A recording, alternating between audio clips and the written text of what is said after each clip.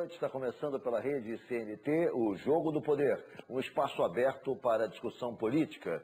Nós, aqui da CNT, acreditamos que o debate, o contraditório, é sempre ponto de partida para o exercício de um dos direitos mais fundamentais o de ser informado com absoluta correção e transparência. Esse é o objetivo, esse é o propósito do Jogo do Poder, que tem o prazer de receber hoje o presidente do DETRAN do Rio de Janeiro, Fernando Avelino. Boa noite, presidente. Boa noite, Ricardo, Bruno, boa noite, Marcelo. Boa noite, telespectador. Para participar da entrevista, convidamos também Marcelo Leitão, editor do caderno Automania do jornal O Dia. Boa noite, Marcelo. Boa noite, Ricardo. Boa noite, Avelino. Presidente, a presidente Dilma, ano passado, lançou uma campanha é, Não exceda a velocidade, preserve a vida, para conter o grande número de acidentes de trânsito é, verificado no Brasil. Que tipo de colaboração efetiva o Detran tem dado a essa causa, através de campanhas educacionais, através de ações públicas, enfim? Que balanço o senhor faz das iniciativas do Detran no sentido de preservar a vida no trânsito? Olha, Ricardo Bruno, primeira coisa nós temos que deixar claro que o perigo no trânsito é um fenômeno mundial. Por isso que existe a década mundial é, do trânsito, da educação do trânsito e do trânsito seguro. Isso é uma questão mundial. No Brasil não é diferente, claro, e no estado do Rio de Janeiro também.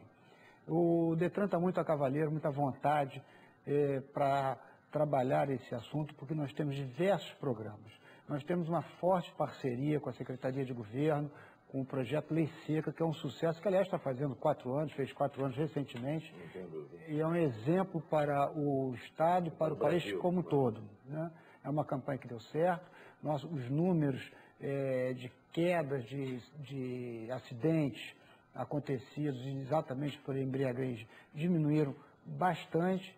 É uma campanha que deu certo, é um projeto educativo e não só coercitivo. Tem toda uma educação atrás desse projeto, atrás do conceito da lei seca no estado do Rio de Janeiro. Mais do que isso, nós também temos vários projetos com parceria com a Secretaria de Educação do Estado do Rio de Janeiro, com a Secretaria Municipal do Rio de Janeiro, é, no sentido de entrar nas escolas. Eu acredito que o sucesso é, dos projetos todos tem um pilar central, que é a educação. A educação é perene, não adianta só fazer projetos de coerção, mas a educação no trânsito, ela tem que ser, na minha opinião, vou aproveitar o, o seu, o seu programa, é, na minha opinião, deve ser uma grade obrigatória de currículo escolar no Brasil inteiro. Assim como o meio ambiente, a educação no trânsito teria que ser, por quê? Porque é o maior é, vetor de acidentes graves e mortes no país. Nós não estamos em guerra com ninguém, mas os números de acidentes e mortes no país e também, claro, no estado do Rio de Janeiro, parece que nós estamos em guerra o ano inteiro. Eu até acho que estamos numa guerra de nós contra nós mesmos.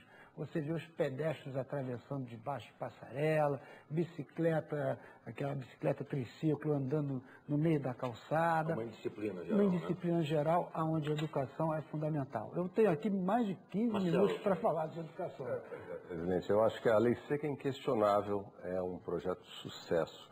É, eu gostaria de saber qual seria um outro passo, porque nós vemos que o motorista foi é, obrigado a usar cinto de segurança no passado, o motociclista é obrigado a usar capacete, a lei seca tem o seu lado coercitivo para é, deter o motorista alcoolizado. É, de que maneira a gente poderia trabalhar sem ser na repressão e oferecendo à sociedade resultados palpáveis no, no número de acidentes, na redução de acidentes de trânsito? Olha, eu vou mais uma vez sublinhar que a educação nas escolas se a criança já chegasse aos 18 anos bem educada no questão, no quesito trânsito, nós teríamos outros números.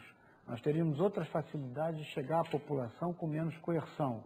É, nós temos vários projetos é, que visam essa, a segurança. Nós fizemos agora uma parceria com a Polícia Militar do Estado do Rio de Janeiro, que nós vamos oferecer 22 mil vagas, 22 mil cursos para motociclistas, telemoto frete Nós vamos regularizar a, a, a É, categoria. uma- essa questão foi objeto de uma discussão recentemente, porque o CONTRAN, na verdade, passa a exigir que seja ministrado cursos aos motoboys Brasil afora, e parece que o Rio não havia ministrado ainda, havia um embate entre o DETRAN e o sindicato da categoria por conta desse assunto. Como é que está? Foi resolvido esse assunto? Foi superado? O DETRAN já está ministrando os cursos? Vai ministrar a partir de quando? A situação dos motoboys do Rio está legalizada ou não? Perfeitamente. Mas, na verdade, não teve nada contra o sindicato Detran, muito pelo contrário. É, é onde eu ia chegar agora. Nós estamos fazendo, desde o começo, uma fiscalização. Mas a tendência das pessoas é achar que fiscalização começa por coerção. Na minha cabeça, a coerção é o último estágio. Você primeiro tem que é, dar meios, educar e fazer a coerção. Então, o que, que nós fizemos? Logicamente que as autoescolas estão se preparando, mas essa categoria de motofretista é notadamente de pessoas que recebem poucos recursos, não são os salários astronômicos de motofretista. Então, o curso já é um fator de dispêndio. A- o E os próprio- equipamentos? o Tem que próprio- ter porta-pipa, tem que ter protetor próprio- de perna, uma série de equipamentos novos passaram a ser exigidos. O Detran está exigindo O, isso? pró- o próprio equipamento custa sete- quase em torno de 700 reais. Então, o que, que nós fizemos? Primeiro, nós informamos, formamos, estamos preparando, como eu disse agora, 24 mil cursos A gratuitos. partir de quando? Já, a partir já estamos treinando 45, ah, 45 policiais que vão trabalhar em 12 UPPs, em 10 batalhões na região metropolitana. O curso Ministrando cursos para. De acordo com essa nova a- resolução do CONTRAN. preparados agora em, em março, abril, e no meio de abril os cursos se iniciam. Nesse- em 12 UPPs, em 10 batalhões. E os equipamentos também serão exigidos? Os equipamentos serão exigidos paulatinamente, que são os equipamentos de segurança, e a partir de setembro inicia-se o processo de, de até mesmo coerção a quem não se adaptar. Esse modelo foi tão bem, é, modéstia à parte, falando tão bem elaborado, que inclusive outros estados, e São Paulo, acabou de fazer um Eu decreto vou- nessa linha. Eu vou fazer um rápido intervalo. O Jogo do Poder volta em um minuto. Hoje entrevistando o presidente do Detran do Rio, Fernando Avelino.